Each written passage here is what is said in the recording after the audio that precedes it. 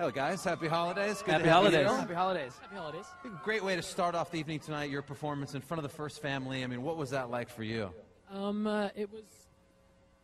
It was weird. uh, is the only way to explain it. Like looking at the first family and singing was interesting. uh, Like real experience. It was awesome. I had the time of my life. Honestly, it's a blessing to be able to come and perform. So, thank you. Gotta say, I was a little nervous, but it's an honor, so I'm happy to be here. Excellent. I was also very nervous, but it's a once in a lifetime experience. So thank you guys for having us. And uh, maybe the First Daughters just got your new album too. I came out. Congratulations. We hope so. if you haven't, maybe Elevate will be a Christmas present. Good stocking stuff. Well, thank you guys very much. We're so glad you could spend a bit of the season with us. Now we go from gospel to pop to country. This artist has a stocking full of number one country hits, but he's doing a Christmas class tonight. Please welcome Rodney Atkins.